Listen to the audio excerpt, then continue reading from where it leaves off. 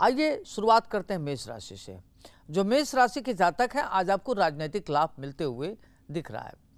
धन धान की स्थिति अच्छी होगी, कई महत्वपूर्ण कार्य संपन्न होने से मन प्रसन्न रहेगा और प्रचुर मात्रा में धन लाभ का योग बन रहा है। उच्च पद प्राप्ति का भी योग बन रहा है, सरकार से लाभ मिलेगा, वाहन सुख, घर, गाड़ी इत्यादि का सुख मिलेगा, सुख के संसाधनों में बढ़ोतरी होगी, चतुर्दिक लाभ से मन प्रसन्न रहेगा। स्वास्थ्य पर विशेष ध्यान दें। यश प्रतिष्ठा में बढ़ोतरी होगी, इसका प्रबल योग बन रहा है। अचानक दूरदेश की यात्रा हो सकती है, मन थोड़ा उद्विग्न हो सकता है। अपने मन पर नियंत्रण रखें। सावधानी क्या बरतनी है? समय का सदुपयोग करना आपके लिए श्रेयस्कर रहेगा। उपाय क्या करना है?